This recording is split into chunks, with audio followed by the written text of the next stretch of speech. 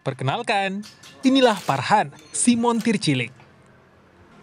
Tangan kecilnya piawai mengotak-atik kendaraan bermotor yang tengah dalam perbaikan. Layaknya montir profesional, Parhan tahu betul bagaimana merawat mesin hingga mengganti suku cadang. Padahal usianya belia dan tercatat masih duduk di bangku sekolah dasar. Parhan mulai mengenal dunia bongkar pasang kendaraan bermotor sejak belia. Ayahnya yang seorang montir jadi sebab bocah ini jatuh hati pada dunia otomotif. Ini sudah berapa lama bekerja eh, dengan Bapak kan eh, mau bengkel?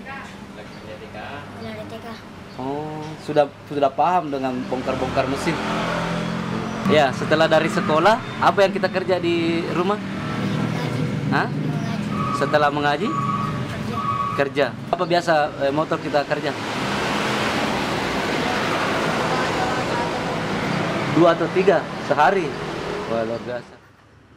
Saat ini Parhan kerap membantu ayahnya bekerja di bengkel di Kelurahan Lompoe, Kecamatan Bacu Kiki, Kota Parepare.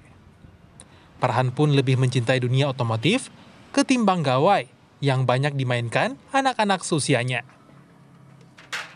Itu pekerjaan apa saja yang dilakukan Farhan, Pak? eh ganti ban, bongkar mesin, Heeh. bagian bak CPT. Eh, selain itu, Pak, apa lagi, Pak?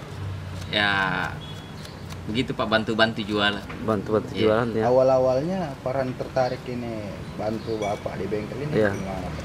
Eh kan selalu memang diajar Pak. Diajar memang tiap hari disuruh jangan tidak dikasih main HP. Hmm. Jadi Farhan juga tidak pernah jarang bermain sama teman-teman. Jarang Pak, jarang bermain sama teman-temannya. Dunia anak-anak memang adalah dunia bermain. Namun jika diarahkan pada hal yang baik, akan jauh lebih bermanfaat. Lihatlah Farhan, meski masih belia namun mampu mengembangkan keterampilan yang luar biasa. Sudin Samsudin, Kompas TV, Parepare, Sulawesi Selatan.